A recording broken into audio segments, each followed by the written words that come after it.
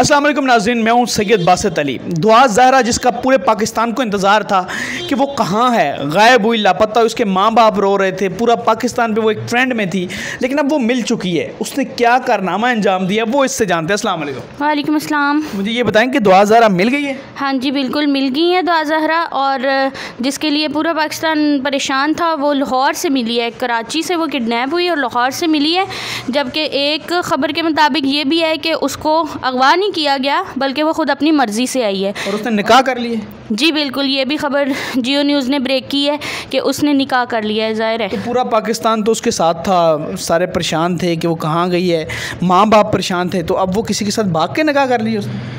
अब इस बात का तो आहिस्ता आहिस्ता जब हम कोशिश कर रहे हैं कि उन तक पहुँचें और मज़ीद ख़बर जो भी अथॉन्टिक है वो आप सब तक पहुँचाई जाए। पहली खबर तो यही है ना? पहली खबर अभी यही है कि उसने अपनी मर्ज़ी से निकाह करके वो ख़ुद अपनी मर्ज़ी से ही है उसको किडनैप नहीं किया गया। तो देखें उसने अपने वालदेन को कितना परेशान किया और पूरे पाकिस्तान पूरी आवाम परेशान थी बल्कि उस बच्ची के लिए। तो बच्ची के लिए तो अब निकाह जो उसने किया शायद ज़ाहिर लाहौर में ही किया होगा या किसी कराची के लड़के के साथ लाहौर भाग आई होगी जो रिपोर्ट्स आ रही हैं। तो अब अब कराची पुलिस कब तक आप उसकी सर्च के नेक्स्ट आप इंशाल्लाह हम कोशिश करेंगे कि दुआ का इंटरव्यू भी करें और जल्द उसकी सारी डिटेल दें आपको कि क्या हुआ, क्या नहीं। लेकिन अभी पहली रिपोर्ट यही है कि जी दुआ जो है लाहौर से मिली है। ये जियो न्यूज़ की भी रिपोर्ट है आर वाई न्यूज़ की भी रिपोर्ट है। उसके अलावा कराची पुलिस की रिपोर्ट है। अब वो उसका वीडियो बयान भी आने लगा है। हम भी कोशिश करेंगे कि उसका प्रोग्राम करें और प्रोग्राम करके जो है वो दुआ की आपको कंप्लीट डिटेल्स दें। किसके साथ वो आई, वो लड़का कौन था, निकाह किससे हुआ?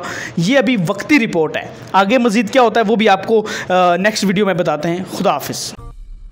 सैयद बासित अली की वीडियोस देखने के लिए सब्सक्राइब कीजिए और बेल आइकॉन को भी प्रेस करें ताकि आपको हमारे चैनल की वीडियोस सबसे पहले और बर वक्त मिल सकें।